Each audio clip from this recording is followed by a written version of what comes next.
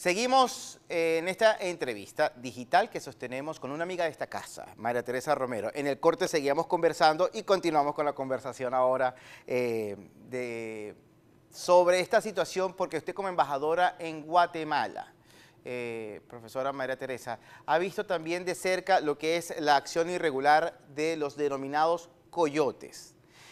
nosotros desde esta tribuna, en Dígalo aquí, lo hemos venido denunciando, incluso redes de tráfico humano que operan desde Maracaibo, Estado Zulia, desde Valencia, Estado Carabobo, desde el Distrito Capital. Están allí capturando la atención de venezolanos que en medio de su desesperación prefieren entregarse a la acción del tráfico humano, porque así hay que mencionar, estas personas que le ofrecen llegar a Estados Unidos burlando las leyes son coyotes, porque lo dejan a, a merced de una situación de peligro al momento de estar en la frontera. Eh, también en Guatemala se ha visto la acción de los coyotes, así como el resto de las naciones del hemisferio.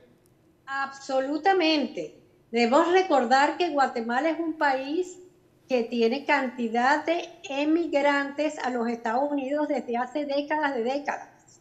O sea que los coyotes allí son completamente, eh, tienen su, bueno, han estado ahí durante mucho tiempo, ¿no? Y, de verdad es que es un gran peligro, un gran peligro. Recordemos la cantidad de centroamericanos, muchos de ellos guatemaltecos y hondureños y mexicanos que han encontrado muertos en, autobuses, porque los coyotes eh, se ven en peligro y entonces los dejan allí. Otros, otros los dejan eh, varados en cualquier sitio porque ellos mismos los roban y son ellos mismos los que violan a las mujeres y a los niños. De modo que es una situación terrible. Y nosotros también alertamos allí a los hermanos venezolanos que se están regresando de México o que se quedaron, varados a mitad de camino y no pudieron seguir para México y Estados Unidos, que no se les ocurra irse y aventurarse de nuevo con un coyote de esa naturaleza. Los coyotes de Centroamérica son los peores. ¿Por qué? Porque están dominados por organizaciones criminales y delictivas como las maras y los salvatruchas que llaman, que son criminales.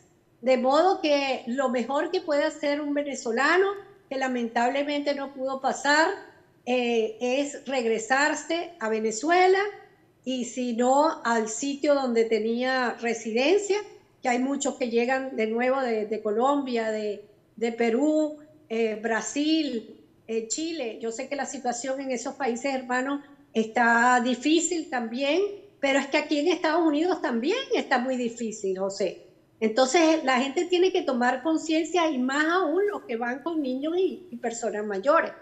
Ahora, profe, ante esta situación del regreso de venezolanos, ante eh, la vigencia y puesta en vigor de esta norma migratoria en Estados Unidos, una decisión eh, autónoma que impacta a estos venezolanos que no tenían contemplado lo que era un potencial y franco regreso. Mm, ¿A qué se enfrentan los venezolanos en estos momentos? Eh, sabemos que estarían contando con posibles albergues, ayuda de iglesias, incluso organizaciones no gubernamentales. ¿Qué sucede en Guatemala? Bueno, sí, eh, debo decir y debemos reconocer y dar las gracias, eh, no solamente al gobierno guatemalteco, que ha alojado a muchos en, en sus propios albergues. Aunque debo decir que la gente que agarran con albergue, ellos soberanamente los sacan del país, los expulsan a la frontera con Honduras. Nosotros no estamos de acuerdo con eso, pero eso es política migratoria desde antes de yo llegar allí a, Guatemala. Y lamentablemente no ha habido un cambio en ese sentido. Pero aparte de los albergues de los gobiernos, del gobierno, perdón, eh, están los albergues de la Iglesia Católica. Eh, son unos albergues muy limitados. Eh, la gente solamente se puede quedar uno, dos, máximo tres días. Y ahorita están abarrotados de venezolanos, pues en condiciones bastante precarias. Este, pero ahí ha llegado también, y debo decirlo, la comunidad de venezolanos residente en Guatemala que ha ayudado mucho con eh, eh, pues comida, eh, ropa, colchones para que duerman en el piso, etcétera. pero ellos van a tener que salir en dos o tres días. No pueden quedarse allí mucho tiempo.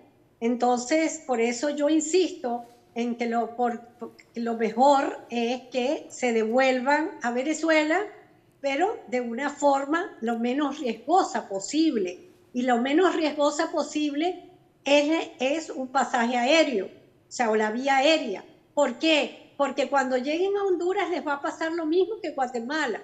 Honduras también, eh, según tengo entendido, igualmente Panamá, eh, pues no quiere migrantes, no pueden con más migrantes en esas sociedades que son sociedades pobres, porque hay que decirlo, en vías de desarrollo, y entonces ellos van a hacer también expulsarlos a otro sitio. Entonces, para estar en esa situación o estar en manos de los coyotes o tener que pasar la horrible selva de Dairén de nuevo, lo mejor y sinceramente es tratar de volver a Venezuela por medios aéreos. Ahora, eh, profesora, esto, esta decisión que impone una norma dentro de lo que es la compleja decisión también de los inmigrantes, lo anunciado por parte del gobierno de Estados Unidos. Eh, hay críticos de diversas organizaciones a favor de los derechos humanos y de los derechos humanos de los inmigrantes venezolanos que indican que 24 mil eh, venezolanos que puedan resultar beneficiados por parte de este programa es insuficiente, la cuota.